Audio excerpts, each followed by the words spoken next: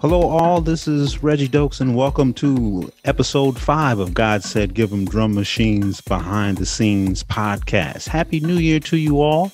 Appreciate you all staying with us on this journey. And, uh, you know, this is Black History Month, February, and uh, this edition is going to be very special. I also like to uh, welcome my team, uh, Jennifer and Dave and Kristian. We got uh, very special information for you. Uh, team, say hello, please. Let's not forget, we got our good friend Eric Jackson in the house too. Oh, that's right. That's right. Eric Jackson. Eric Jackson. What's All happening, team? Brother. Welcome. Welcome. Thanks, Eric, for joining us. Eric, along with David and Kristian and Reggie, uh, is very much part of the team. We're so happy to have him on this call with us today.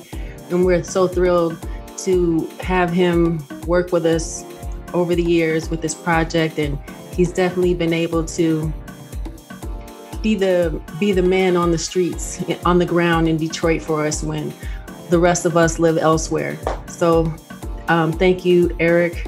Thank Um, your contributions do not go unnoticed, and um, we're happy to have you here today. Good to be appreciated. Thank you very much.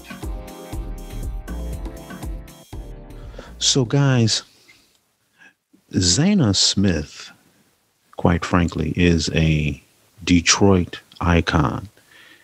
She has been one who has contributed to the culture, the the fashion culture, the music culture of of Detroit. Um, we talked about a woman who has had a business for 30 years called Spectacles in downtown Detroit. And she has touched so many lives, uh, whether they be artists in fashion or music. You know, Zana had several nights, uh, one of which I can remember, uh, Mahogany. Uh, she also had the downstairs pub uh, in Detroit, which was a very, very popular uh, hotspot. You know, Zana even touched my life personally. Um, you know, she had a lot to do with uh, my artistry coming up in the game. Um, she clothed me in terms of uh, photo shoots. Um, she did marketing for me and promotions. We even uh, had a night together. So I'm very grateful to, to, to Zana. She has not only touched my life, but like I said, many others. Amp Fiddler, uh, Kenny Dixon, Theo Parrish. When Zana had the downstairs pub, when she was doing that, uh, her DJ was uh, Ken Collier. He was the one that uh, was the resident and set, set the vibe and, and, and tone uh, for this place. He is to us in Detroit what Frankie Knuckles was or is to Chicago. That's that's the love and respect that we had or have for Ken Collier. He he he was that guy. People to this day still talk about how Ken Collier really influenced uh, the dance scene uh, in Detroit. So let me stop talking. We have a great mix of DJ Ken Collier, and uh, want you to check it out.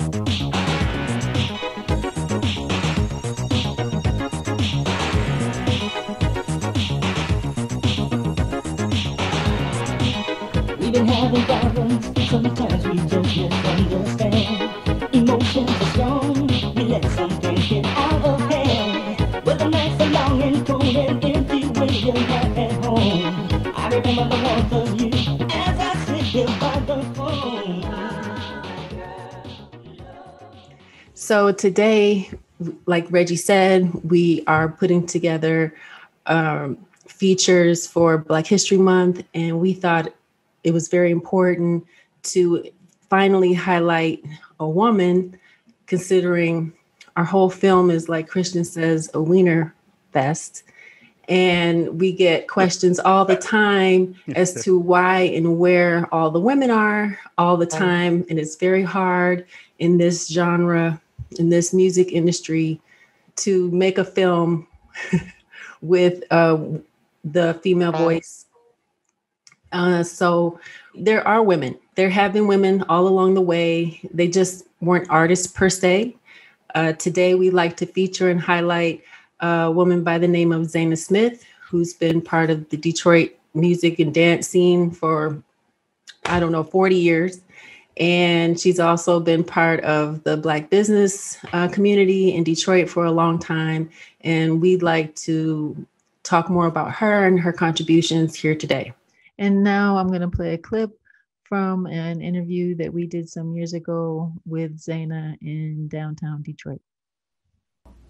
Well, what happened um, in the 80s, we, um, a lot of the party promoters were giving parties in downtown Detroit at places like Piper's Alley, which is uh, on Bagley, My Fair Lady, which was on Lafayette. Um, back then, guys were getting together and they were getting nightclubs. You know, you'd have three guys that would get a nightclub. Well, My Fair Lady was real popular, and we had uh, three owners there. And when they broke up, each one of them went and got their own club. Well, JB's uh, Julius Bender, it was JB. So he opened up JB's, which was in downtown Detroit, um, just blocks from um, the downstairs pub, and then you had Studio 54. So you had different party groups that would give parties in different location. One way would be at um, JB's. Uh, Take Three would be at the downstairs pub. Dave Humphreys would be at Studio 54. Uh, Cosmopolitan would be at uh, the Gaslight, say for example. So um, when every now and then you would have the club owner would double book your night or uh, make it where you know you had to move the party. And uh, on one particular weekend, uh, when we had to move the party from the downstairs pub, we moved it to JB's. It was, and we called it Taboo Wear Red, and everybody came to the party in red. Um, Ken Collier was our DJ, and uh, right now JB's is uh, known as Cliff Bell's. And it used to be known as Cliff Bell's back in the 30s, in the 1930s. So if you went through our photographs, you would see that we were actually in that uh, historic building that the Purple Gang used to hang out in. Um, back in the 30s. So uh, JB's became uh, a hot spot for different party promoters to go to. It was a go-to place, and it had a lot of history and uh, you know, great dark. It was a very dark, drab place, but it had that wonderful dance floor and uh, the downstairs too that you could um, have uh, your event. Could be up and down what happened is um, the parties were very popular, and so we wanted to instead of just passing out a flyer, we wanted to do a little newsletter. So we came up with what we call Click It.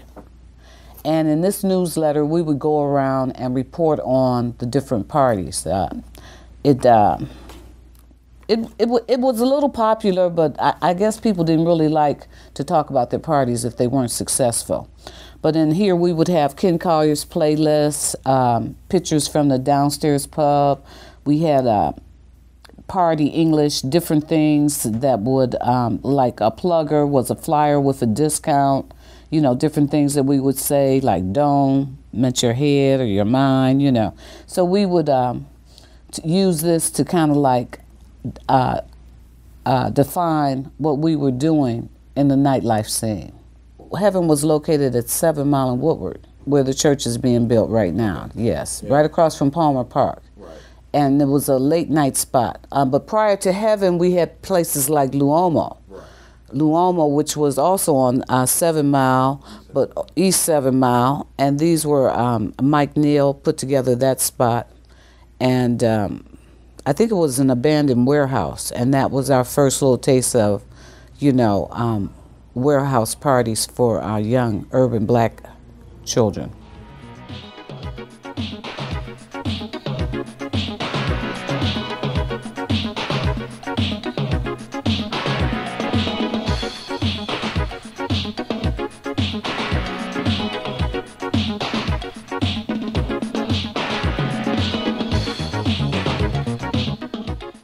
guys remember being young did any of that resonate with you?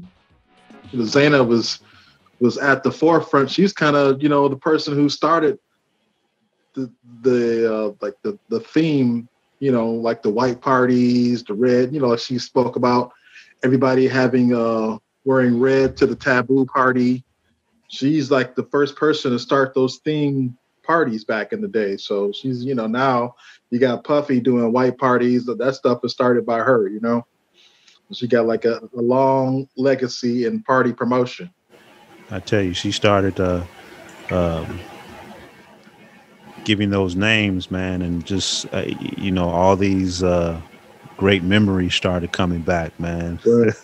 Lumos, the Lumos, yeah. Right. Then I got to thinking about Cheeks and right. Uh, um, oh my God. Uh, um, yeah, uh, th- there was the club uh, Taboo that was downtown uh, off the Taboo, railroad tracks.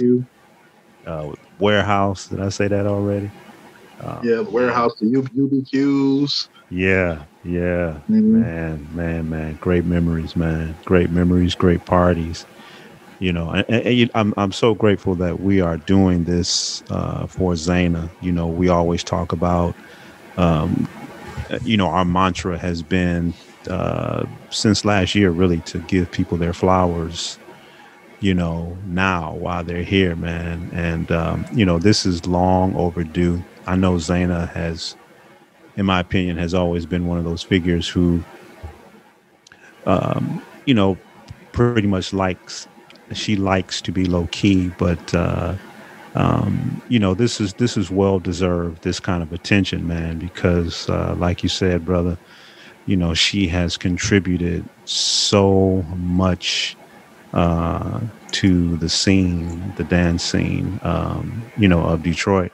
I was sharing with everybody uh, the last time we met that um, you know Zana also touched a lot of artists and uh, you know both fashion and music, uh, especially music. Uh, myself included in that, you know, taking pictures, promoting people, um, you know, doing parties. You know, we even had a, a, a, night that we would do together once a month. Um, you know, she's done a lot for people. And, um, you know, this is just a really a good thing, just letting the world know, you know, what uh, this sister Zana, who um, has been in business uh, for whew, 30 plus years, I think she said, you know, and, and, and, and that's a long time to be an entrepreneur mm-hmm. and to be in business and to be in Detroit. You know, it's been a lot of folks that have come and gone around her you know, I, I think of um, places like Lewis the Hatter, and um, you know, which was there for centuries. You know what I mean? and uh, uh, I, some of the other places uh, don't come to mind at this point. But you know, a lot of businesses, man, have come and gone, and she has remained steadfast and and and and and stable. Um, you know, over these past 30 years as an entrepreneur. I remember she was telling me that, and I didn't even know this, but prior to Spectacles, she had a spot called uh, Zana's Place. Uh, and she yeah. said that was like a 2,000 square foot um, building that she was uh, operating out of. I think I think she told me she had a couple businesses before. Yeah. Zana's Place yeah. was over on the, on the, on the west side in the old Spiegel's building. Okay, yeah, Seven Mile oh Illinois. God, that was building. Oh around the corner from my house. Yeah. So I, yeah. I remember going yeah. there. You're right. Yeah. That was, it, that was, you know, again, she was ahead of her time in terms of style. She, mm. and, you know, she mm-hmm. was making sure that she was bringing brands that were not sold in Detroit. Mm. You know, right. bringing in, you know, for you know, Spike's label, Forty Acres and a Mule, bringing, mm-hmm. you know, breaking right. brands like, you know, yeah made you know Detroit versus everybody. You know, yeah. more recently, right? So, Maurice, yeah, uh, Maurice Malone. Oh, right? of course. Oh, yeah, yeah, right? yeah, yeah, yeah, yeah, yeah. Maurice, shout out to Maurice. You know, Williamsburg Garment Company. He's still doing it here in New York. So, mm-hmm. you know. So, for those of you who aren't really familiar with Zana or her store Spectacles in Detroit, it is located downtown. It's on 230 East Grand River Avenue, Detroit um, downtown. It's a clothing store and it has a lot of, I would say, urban wear. right? Would you say Mhm. lots of t-shirts, sweatshirts for the urban community and has been there since the mid 80s, right? Or have had she's had the store spectacles since the 80s.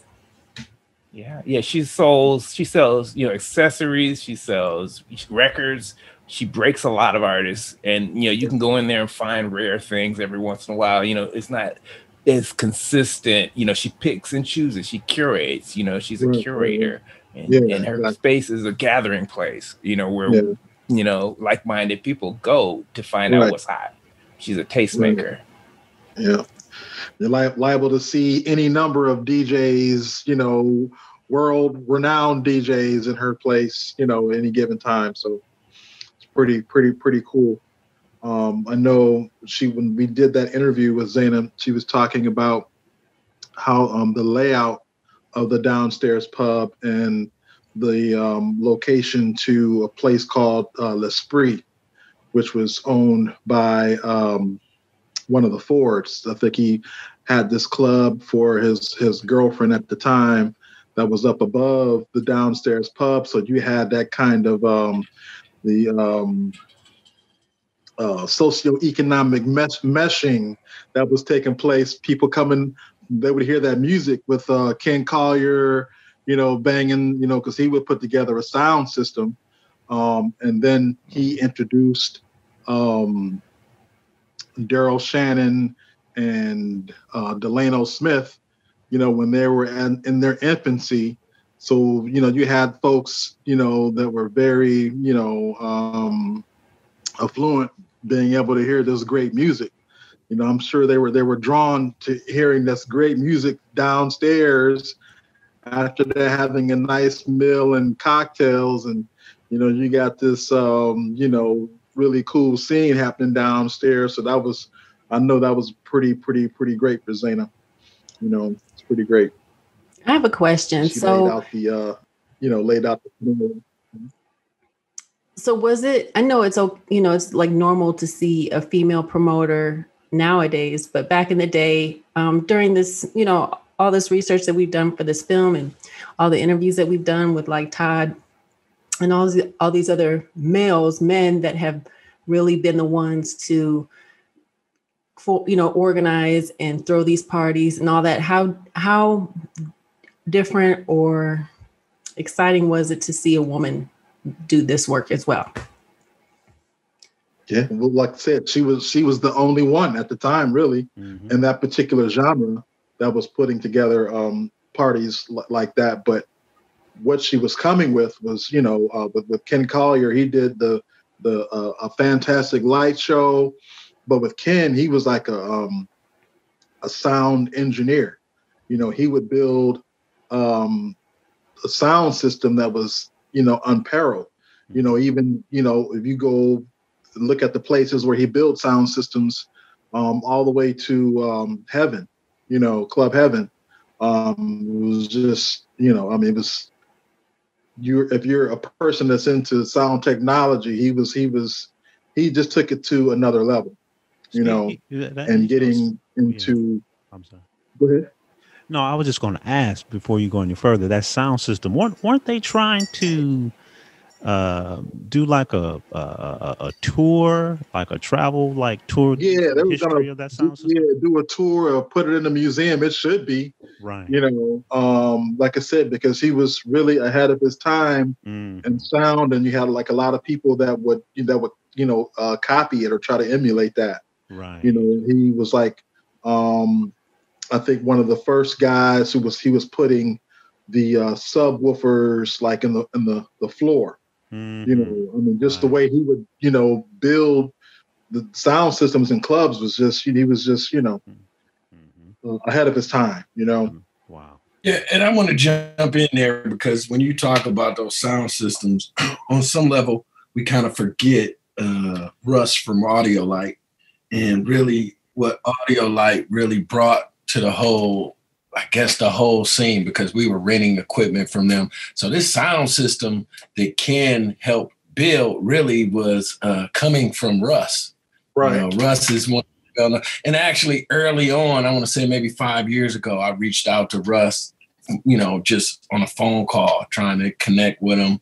And, uh, you know, I just remember just how uh, we, you talked about the speakers, putting the subs in the floor and stuff, but just how for years people mm-hmm. talked about how um, that sound system really made you feel and how mm-hmm. Ken's earlier sound systems really kind of, uh, as Zana puts it, uh, all the it was for music lovers, mm-hmm. and um, I really believe that uh, in terms of Ken's work in terms of audio, that a big part of that was Russ's expertise that in audio lights equipment that was helping facilitate Ken's kind of his thoughts on what the sound system should be. No, no, Kristian, for those folks that and you also know. had Duncan Sound also at the time back then too. Duncan Sound. Yeah, but that that Duncan Sound and what Ken Collier and them were doing, they were two different sides of yeah. the ball. Yeah. Kristian, now you know, for those folks that don't know who Russ is, you know. Bro, Russ, as I understand it, because I, I I met him later on, but Russ was an audio, it was an audiophile, and he had a store where you could go and rent equipment and uh, he fixed equipment. So he was just one of those uh, sound uh, experts that were left over from the Motown era, you know, that had insight into that earlier part of Detroit's musical legacy. And when we had, I guess I want to say the barren years where Motown left, funk is still there, but the DJs are growing. I think Russ's uh, significance because I, I, believe his business was in Redford.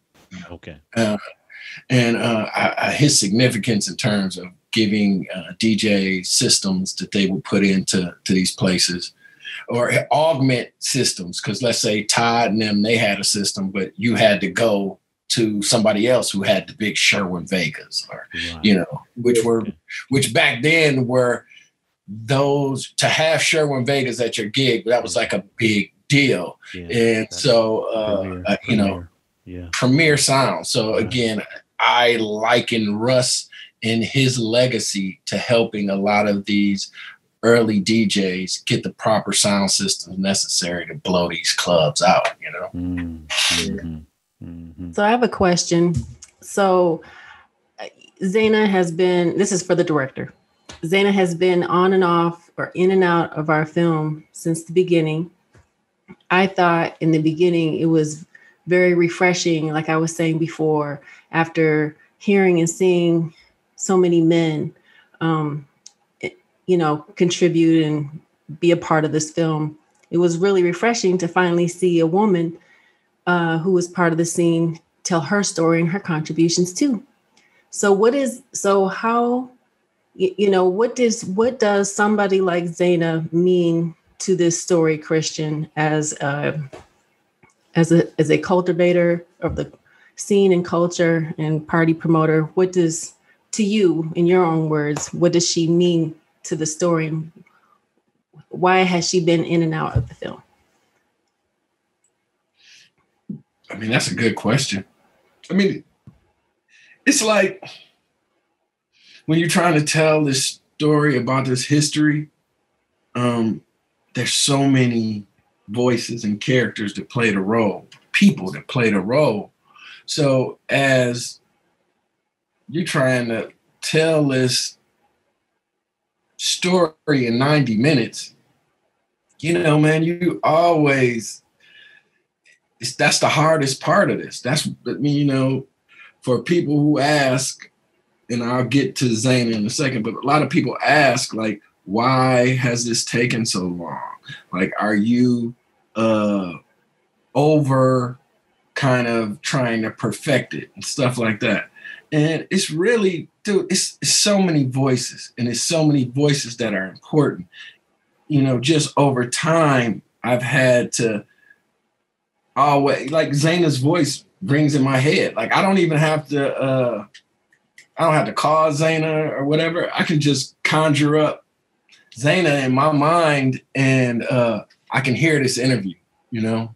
I hear what she says. Uh, sometimes I go back and listen to it, but you know, the downstairs pub came in and out of the story. And that's how Zana fits in here for me.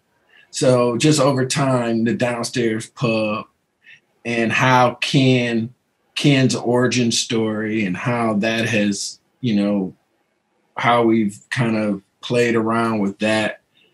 Um, it's just necessary now in order for it to be chronologically correct in terms of how this music has spread across the world that we hold on to what happened at the downstairs pub because a lot of people that came out of the downstairs pub uh, are important inside of this music today. So, um, you know, just going back and forth and just trying to find the right story made it to where uh, is always on the bleeding edge of that. And so just the fact that she didn't DJ, the fact that she didn't make a record, the fact, you know, those facts make it like, well, damn, how can I keep her in the film? But the fact that this downstairs pub happened and where it happened within the timeline of Detroit techno, it makes it to where her impact on this music is unquestioned, unquestionable her relationships with Jeff Mills, her relationships with Blake Baxter, her relationships with all the DJs in the city is something that, you know, I'm very well well aware of, and I just try to make sure that, uh, you know, I uh, represent her in the scene as best I can. So, you know, that's why she falls in and out. I, th- I think it's also important to mention that, you know, it wasn't just you know her past contributions to why she's important to the scene today. I think also, to correct me if I'm wrong, but she's really a historian as well, correct? No, without question. Without question, yes. Eric, you might want to follow up on that, you know. Oh, yeah, absolutely. You would have to definitely say that um, Zana was a catalyst to uh, the the techno situation because um, she she was an influencer. She influenced um, Juan Atkins. You know, he speaks of the you know going to the downstairs pub, getting his mind blown, and um, you know Juan was producing music. He didn't so much want to be a, a DJ starting out, you know, but going to the downstairs pub, seeing what was going on. Um, and I think uh, Derrick dragged him to the, you know, to the pub. It was like, uh, you know, you got to come check this out took him down there. I mean, they were both um, influenced by what was going on at the downstairs pub. You know, it made them, you know, want to be DJs.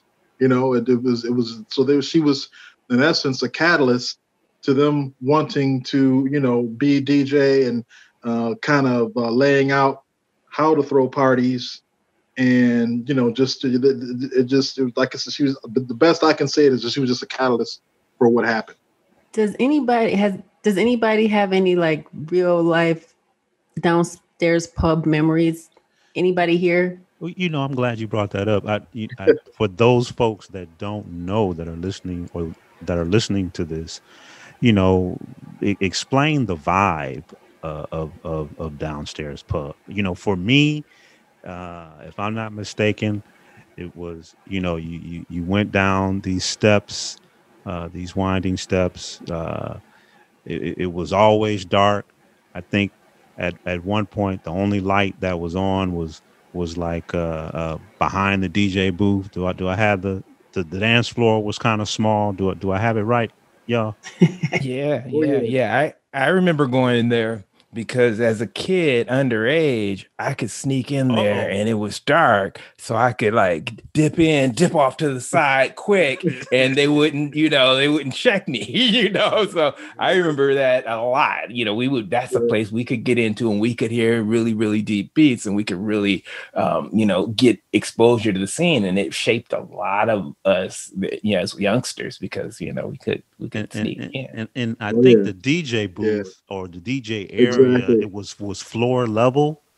The, the, is that right? And and and you, right. you were almost like yep. looking at the DJs through like a a, a, a, a cutout uh, like hole in the wall, if you will. Uh, very small area, uh, if I'm not mistaken. But the the vibe, the energy was just uh, was just was incredible. Yeah, the DJ was a star, in spaces like that where the. DJ's on the floor, the DJ's the star, and right. so people are able to see it, and it impacts them because they see what the DJ's doing. Whereas like Cheeks had it up, you know, DJ was up a little bit, and some of the other clubs they had the DJ up off the floor, so you couldn't really see what was going down. So I think that is a huge catalyst to uh, oh, people wanting to become DJs. Mm. Yeah, absolutely. I know Alan Alan Ester uh, mentioned how he would go into the bathroom and get in, in the stall and, and stand up on the toilet and just you know get in the stall and wait you know because i guess before it was you know a restaurant what have you or a bar he would go in there get go into a stall get in uh, on top of the toilet close the door and wait until you know the, the night turned over and then come out. You know, okay, okay. that was pretty uh, hilarious. Oh, that's awesome. yeah, we all had our methods of getting in. right, right. You know, yeah, wow. I love it. I love it. But you know, I mean, I I think that again, being able to see the DJ helped yeah. and it allowed people to experience the technology you know as i love what um what Kristian was saying in terms of people who were sound technicians and who right. impacted us with the speakers mm-hmm. and then you had the the people that came later you know the duncan sounds and then the you know deep space and direct drive where the technology became a part of DJing. And those right. are the things that led to people using drum machines and people getting into drum machines and, and kind of closed the loop on the technology that that became um, what was used to create Detroit techno. Yeah, absolutely. Because it was like the way it progressed, it was like the, the Duncan sound.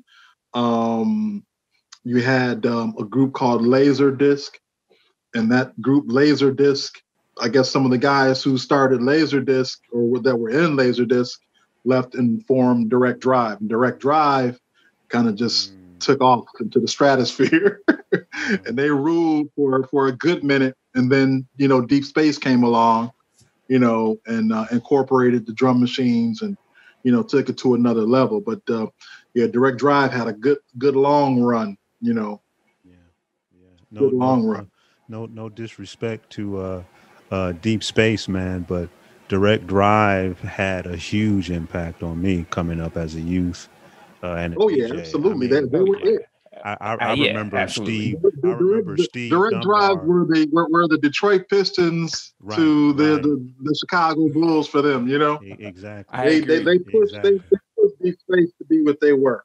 Exactly. Yeah, absolutely. Or what they, they became you know, I, I, remember going away to college and mm-hmm. Deep Space would spin at TSU, and I had from Alabama. I would drive up there because Deep Space was within, you know, three hours of where I was. Right. Like wow. they would tour and hit Amazing. HBCUs, and yep. you know they had a nationwide appeal, and they would yeah. like pack the spaces in yeah. in T- Tennessee.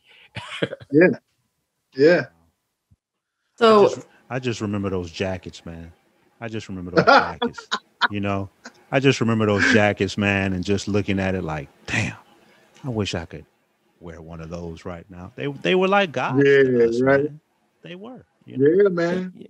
I mean, hey, think about it. That's a full circle. You know, branding the right. party clubs right. that branded themselves like brats. You know, with the with the blue jean. Uh, you know, Ciabattino. Which one had the blue jean jacket with the cursive I think brats, that was brats and yeah. commodores. Yeah, yeah. Jackets with the stitched and snobs had yeah. stitched jackets. I mean, had the denim jackets with the stitched lettering of their clubs on the back. Oh yes, yes. Sabino had the, had the silky Right, right, right. The satin, right, right. right.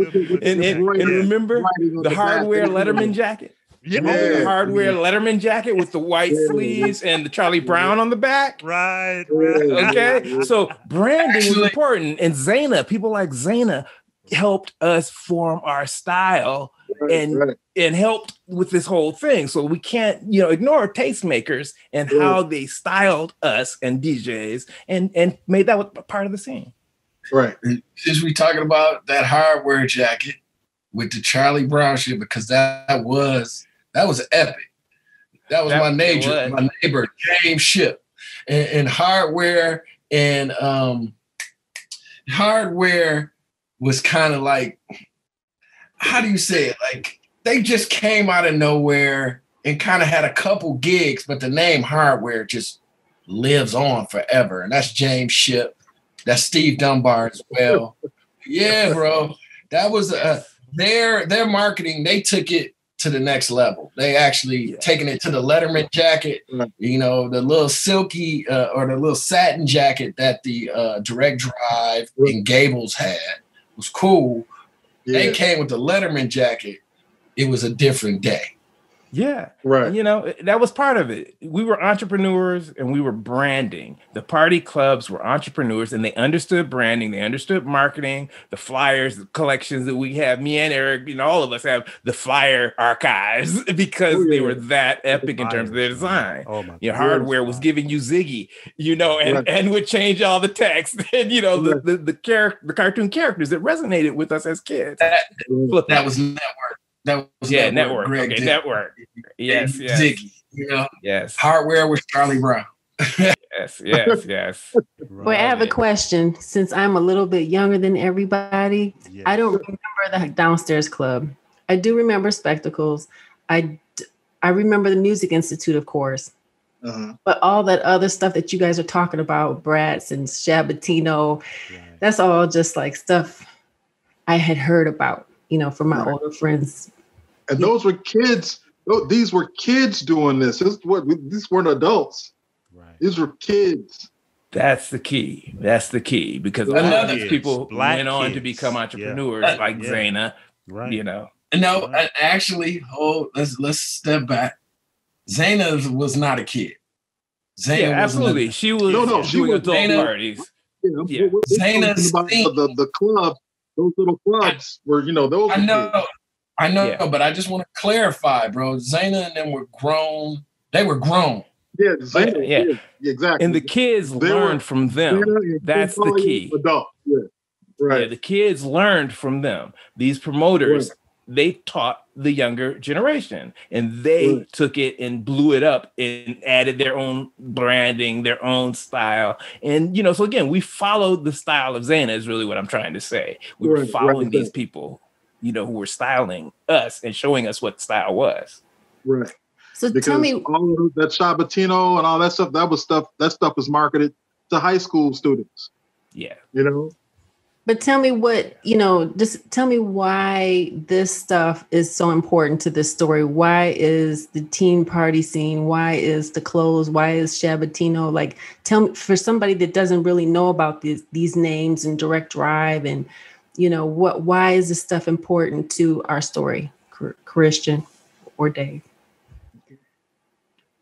Yeah i mean i think that the key is we all know that these party clubs were embracing technology. They were incubators for DJs, they were incubators for art, they were what made the techno artists emerge. They they molded what an artist was while they were a group. They they blew up various artists like Juan and you know all of these guys that came out of uh, DJ crews also you know became uh learned how to market themselves through these groups. You know, Eric, what do, what do you think? You agree with that? I'm I'm curious. You know, Kristian. Yeah, I, I, absolutely. I mean, and, and and like the most important thing is that the audience grew. I mean, it's, you know, the it, it, it they you know got a taste of it from you know checking out what Zana put out there, but then mm-hmm. everything being marketed to high school kids, we all grew and then became college kids, and then we were college graduates, and the parties were still going. You know, so we just we we grew with the with the genre. You know, we we, we grew with it. Yeah, you know, and, and we took it around the world too. A lot of us went yeah, away it, to different places. Made it global, yeah. And and right. and of course the DJs also went to other right. places, and that helped it spread. So all right. of this culture was help this. It was what helped this thing to spread. Right. Okay, I'm gonna play another clip from this was Eric's interview. Do you remember when you did this, Eric? Wait, I do not. I think this was uh like 2013. Kristian, wow. would you say? 2013, 2014. Wow. And, and just tell me where were you when you recorded this on camera interview? Do you remember? I'd have to see it because I, you know. well, you were I can I I mean, I remember what it was. She was sitting in a look what looked to me like a vacant lot. Oh, yeah, absolutely. Yeah, yeah, yeah, Your brother Jason actually uh, shot it. And she was sitting where uh, the downstairs pub and the spree used to sit. So it was uh, we're in a we're on the we were on Shelby and Larned on the corner is where it was. And um, yeah, that's where she sat and was like, you know, this is but I can't was, was that yeah, I guess that was like yeah, 2012, 13, something like that. Yeah, it was a while back. Wow. Right. Mm. We've been at this for a while. Uh, yeah. We've been working together for a while. I appreciate everybody's patience with this. I'm going to play this other clip, this second clip, real quick. Then, you know, the main the main promotion was a flyer, and then we had what we call pluggers. And these pluggers, you could get discounts to get in, or uh, the party got so so bad, we you know we would have people scalping our uh, free invites and free passes outside the club. Right. You know, this is pre-digital, so yeah. you know, how did you go about making the flyers? How, how, you would have uh, graphic designers that would do a little typesetting, and then you know give it to a printer or either make copies back then. But uh, the best way to get people to your party um, was to um, call them on the telephone, a personal invitation. Uh, back then, we would have other little groups, uh, the boys. I would get a group of guys together. Maybe we would do birthday parties. Um, and, and some of those people that were in the different um, groups that we would form, um, kind of like a record company almost. Um, they would do promotional parties to keep the interest going at the parties. So, how do you see the downstairs pub influence on Detroit techno? Well, people like uh, Derrick May, they were always there because of the love of the music. It really had to do with um, what Ken Collier brought to the table.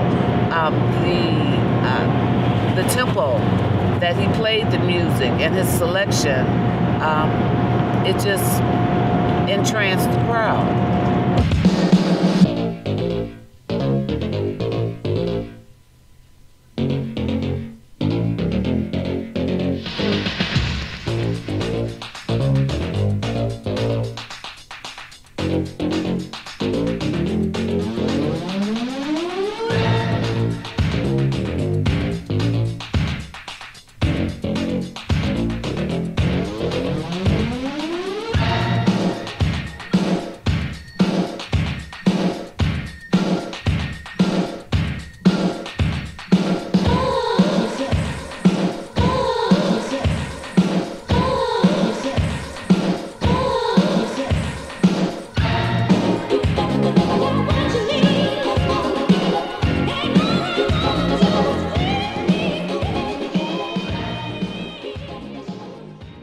Ken Collier, please, for the people that don't know who are listening, somebody explain who Ken Collier is.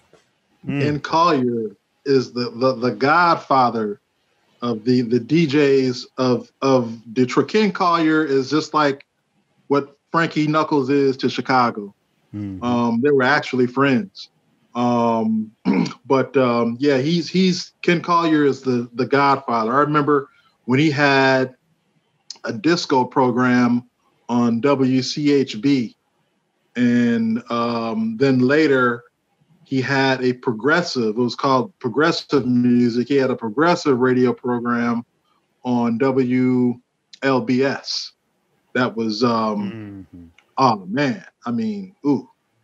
I mean, it was, he was, he was, he had people out here like Mojo had folks out, you know, getting, you know, next to the radio waiting for his spot to, to come on and hear this progressive music that he was playing. It was like unlike anything folks had heard at the time because it was like you know this is after disco, and then he you know came with this uh, a progressive radio program that was uh, that was that was uh, man I, I that was dope. One of the dopest things I'd ever heard as a kid. You know, um, no words. right, right. no words, man. For for me, um, and, and and you know, Eric so eloquently put it. What Frankie Knuckles was to Chicago, yes. I mean, he Ken Collier was to us in Detroit. And so I remember there was this club downtown. Um, it was called, and correct me if I'm wrong, I, I, I forget what it was prior to, but it was called Rich and Famous. Oh yeah. Right. And so yeah. um, you know how everybody in the black community has play cl- play cousins, right? So I had this this play cousin named Jeff- Jeffrey Smith. And we went down there. I had my records in a crate, and he convinced, I guess, the promoter and the guys at the door to let me in because at the time, you know, I was, you know, I was in high school. Uh, and uh, so my late cousin Jeffrey, he was so smooth, man. He got us in the door, and I remember looking up at that DJ booth, and then finally walking into the you walked up some steps into the DJ booth and I was just like, "Oh my god." I just immediately became intimidated. And Ken Collier was the DJ, right? He hadn't arrived yet. So the promoters turned to me and they're like, "Look, you better rock this." You hear what I'm saying? If you if you whack, you're going to have to get the hell up out of here. Th- their exact words. So I I'm nervous as hell. I start DJing and then that good old uh, progressive record, uh, Martin Circus, that my Uh-oh. daddy paid fifty dollars for. Uh, I put on that turntable and started playing it, and in walks Mr. Ken Collier into the DJ booth. You talking about nervous? so he he he you know he's bobbing his head, and he walks up to me and he's like, he's like, man, let me show you how to work this. Get out the way. Man, I stepped back. That brother was working that EQ, man. That was the first time I had ever experienced a DJ working an EQ on a Work mixer like in the that. box. Right, Work- working that working the box. box. Thank you. And and and and I was just I was just so blown away, man. And and and and you know, I know uh, people from my era that were DJs, you know, will, will probably say the same thing. That man, when you were in the DJ booth with Ken Collier, man, it was an experience. Mhm. And you know, it was an experience. And and in retrospect, at the age that I am now, I look at it as a blessing now. You know, to even have been in his presence, man, because that Mhm. brother just he, he did a lot for us uh, in terms of the music scene. What does progressive mean? I used to say it. Oh yeah, I like progressive. I didn't really know what I was talking about. so the question was what is progressive and i think that what the easiest way that i would describe it is it was post disco Mhm. it was a mix of you know Italo House, you know groups Mhm. like Kano, groups like um, John Roca. Um, it was a mixture of um, post new wave, uh, electronic music. Um, you know where you get yeah synth yeah exactly or, and electro. You know so you had a mix Mhm. of you know Hashim Nafish. You know you had Yeah. you know a mixture of um, you know what what New York is called b-boy, you know b-boy Right. classics. Yeah. And that electro was also mixed, and and one of the things I would say wasn't Ken one of the first DJs to actually start you know, blending and and Oh, yeah. mixing two turntables. Absolutely. He was among the first. I'm not gonna say he was the first. That Right. that's what made his radio program so Right. dope. Right. Nobody was doing that. Right. Right. You know, we we And that's talking important. We Right. talking nineteen. Was it 1980 yet? I think this right. Yeah. was 1980. This Yeah. on the radio, Right. blending, Yeah. ride, letting two tracks ride. Right. Uh-uh. right. that blew our minds, you know, because that's where the artistry really you're making a new song when you blend exactly. two tracks and let it ride for 10 minutes. You know, exactly. that's a whole different song, you know. Yeah, so yeah. the artistry became that. And then you know drum machines had to be used to start emulating that to you know loop sequencing loops you know that that all came in you know reel to reel splicing reel to reel live you know all of those things came into play. And guys like ken started that whole you know way yeah. you know. When you start again, talking about when you start mm. talking about some of the splicing and the beat machines though bro you're you're talking you're talking five to seven years from ken Oh yeah, there's, absolutely. There's like a there's like a period between let's just say 76, 77 and um 81. Yeah. You know, just really that 81 81 is when you finally have uh Alleys of Your Mind. You know, uh, yeah. 82 is um Planet Rock. Yeah. so Ken's period of um, kind of mentoring and exposing young people to this music was was a nice swath of time. Mm. Yeah. Yep. Yeah. That's good. That's important to say. I agree with you 100%. You know, he mentored. You know, he really, you know, he taught so many cats how to blend, you know, and he got that. And again, I'm not going to say definitively he got that, but he saw that in Chicago. There were guys, you know, uh, Frankie Knuckles saw that maybe in New York, maybe you know at, at, the Loft, you know with Nicky Siano and these guys, and you know so again it moved, but again they didn't blend at the Loft. That was er, way early. So I think Chicago yeah. might have been the first time you know people saw that. But again, I don't know. What, what do you think? What my other his techno historians here? When do you think yeah. guys? Yeah, where, where did they see it before that? Yeah, I think Ken Collier would. I would. I would give him the father of that uh, that that blend and letting mm-hmm. letting tracks ride and um you know, like I said, his his pupils, um, Daryl Shannon and um, uh, Delano Delano Smith, mm-hmm. even Al Ester. Al Ester was a pupil of um, Ken Collier's too. Al Ester could yeah. he was a blend king, a blend master. Right. Let tracks ride, you know, um, like that. Um, another thing too is I actually went to high school with Ken's brother Greg. Mm, okay. That time I got to, you know, I got to, you know, know who he was through Greg. You know, Greg was a DJ too. He played different style of music though, but yeah, that, that's how I, that, my introduction to Ken Collier was through his brother Greg. You know? All right, all right. Two, two things. From my point of view, Nicky Siano and uh, what was happening with uh, Dave uh, is it that Mercurio, Marcuse, what's his name, who, who had David, law? David Bro, I think they was way ahead of the curve when it came to uh, blending and mixing. Number one, mm-hmm. so Ken is post what was happening in New York. Uh, secondly, I think man, a lot of this Ken fandom, we kind of lose sight of Charles Hicks.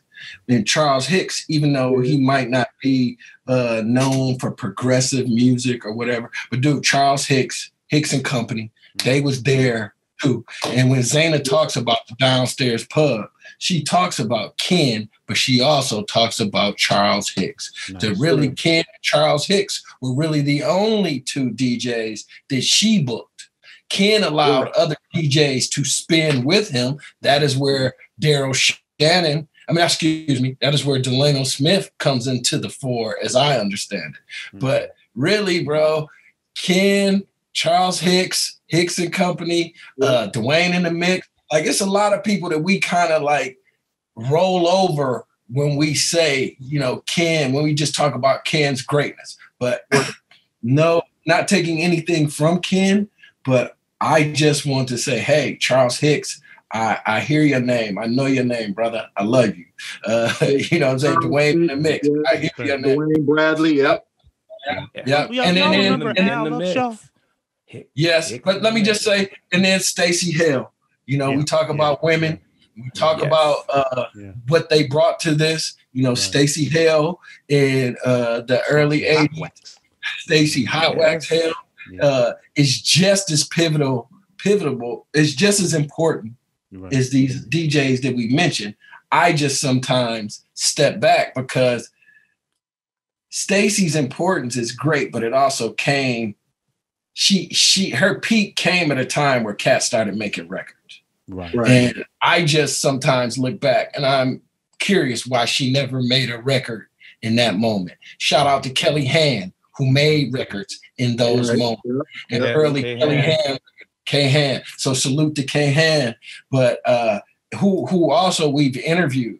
And um I have to say that some of her early history as it relates to uh ghetto tech and ghetto ghetto tech and kind of that sound is really where I see her kind of like evolving in this picture you know so maybe uh, i might be wrong on that end but uh that's why i haven't necessarily included her into this story but you know stacy uh zana they have definitely been two women who i've throughout making this film i've tried to figure out how to keep in the story Yeah, Yeah. Stacy, Stacy, definitely, man. I, I think for, for me uh, coming up, that was definitely mind blowing to see a young woman in the DJ booth because you know, shit, at the time it was all dudes. You know what I Yeah. mean?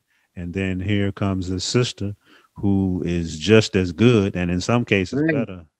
and, and- and not only that stacy stacy was fly right, right. No she doubt. Sure was. She Let's- sure let's- was. let's be She sure clear. was. the Laura Biagiotti glasses right. Oh, Silk blouses Oh, boy, chains we like pull that picture up of her with them glasses on, man. She was Yeah, hot. bro. Yeah. Like let's let's let's be clear. Had on the spectacles. And and she was on par with the dopest DJs in the city. So it was almost like Stacy Hale, Jeff Mills, Al Ester at Cheeks. You can add in John Collins. Forgive me or not.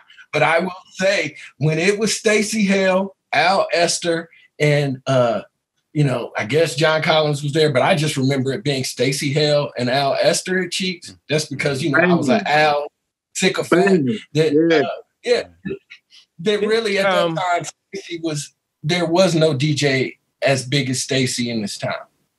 Yeah. She Didn't was- she have a residency at the warehouse? Wasn't she at Yeah, the warehouse yeah, for a yeah, while? she did. And she did the radio show from the, the warehouse. Yeah, yeah, she sure yeah, did. that was epic. You know, Yeah. that was a time that really influenced us. You know, so I, I Mhm. agree 150. percent We can't sleep on the um, innovations that you know that, that a lot of women in Detroit, you know, actually led and kept alive. You know, so yeah, we got to give respect to all of those. You know, all Shout out to women. Chauncey, Chauncey's records. You know what I'm saying? Oh, like, yeah. bro, it- it- Oh, it- oh, shit, you going it- back, bro. like we we can uh like bro we can point to women who played a pivotal role in this Mm. music of course you know it from the ur side you know you got joy santiago you got mike banks sister i mean it's it's women in this sphere you know right so uh and me making the film early on, bro, I because of my connections with Juan and Derrick and and uh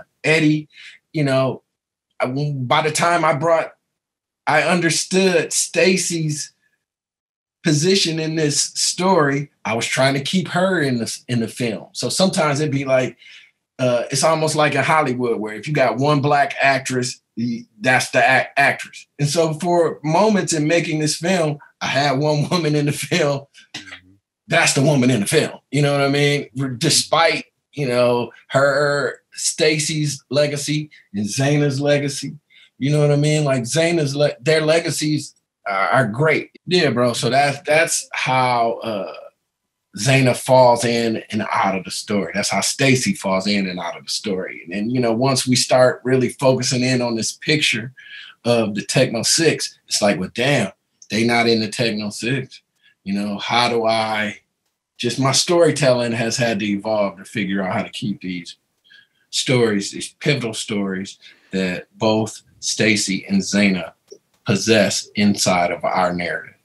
you know is is i mean let's be real y'all the the the story of this time period is so rich hell you go down w- one road and it leads to five or ten different other paths you know as it as it as it relates to this story man of detroit techno and what people contributed so i, I know your your job isn't easy man but it's it's it's a deep and rich story And um, at the end of the day, it needs to be told. You know.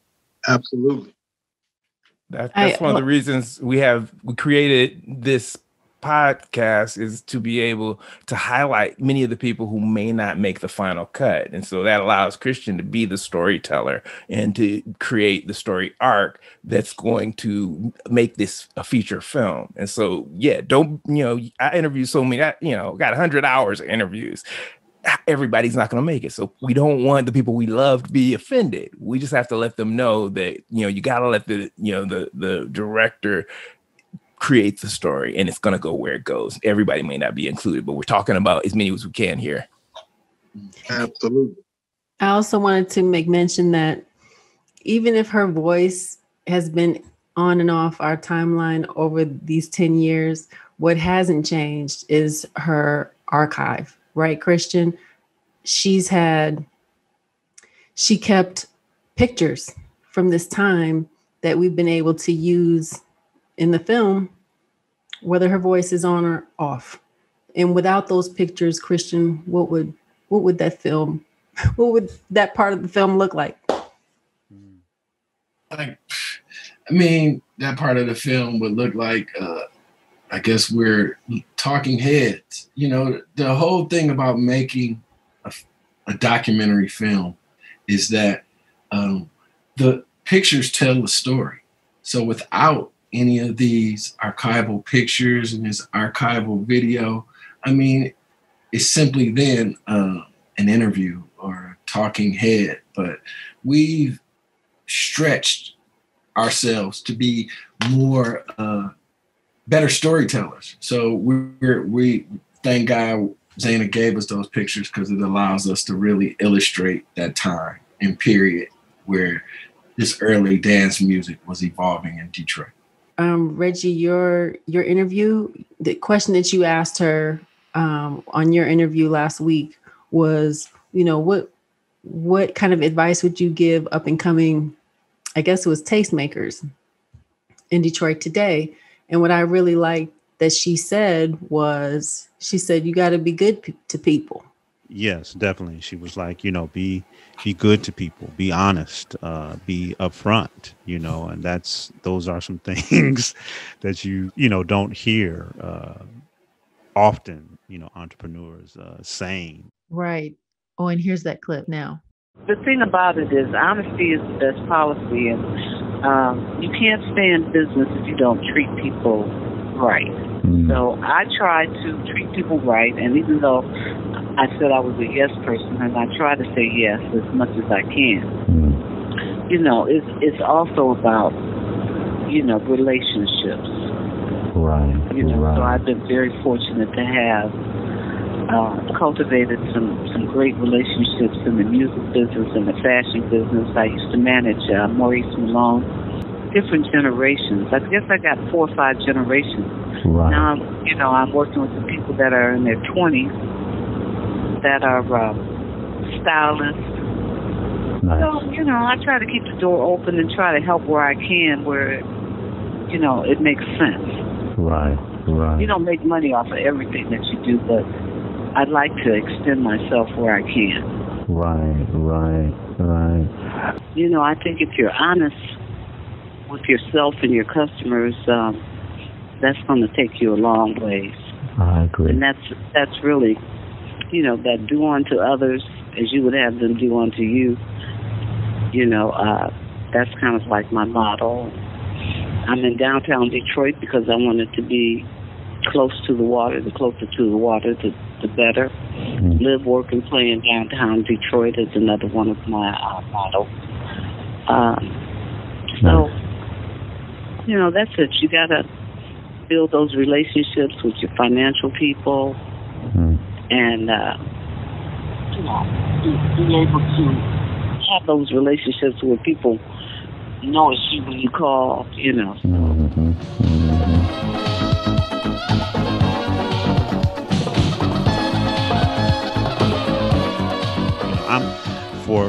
For me, I'm I'm just in awe uh, as far as how she has been able to still um, be around and be significant to um, you know the the the the entrepreneur and and and and small businesses you know of Detroit. I mean, man, you, you know she outlasted the the JL Hudson building. You know what I mean? Like, like you know that within itself is uh is is a huge uh, feat. Uh, you know, at one point she was the only tenant in her building.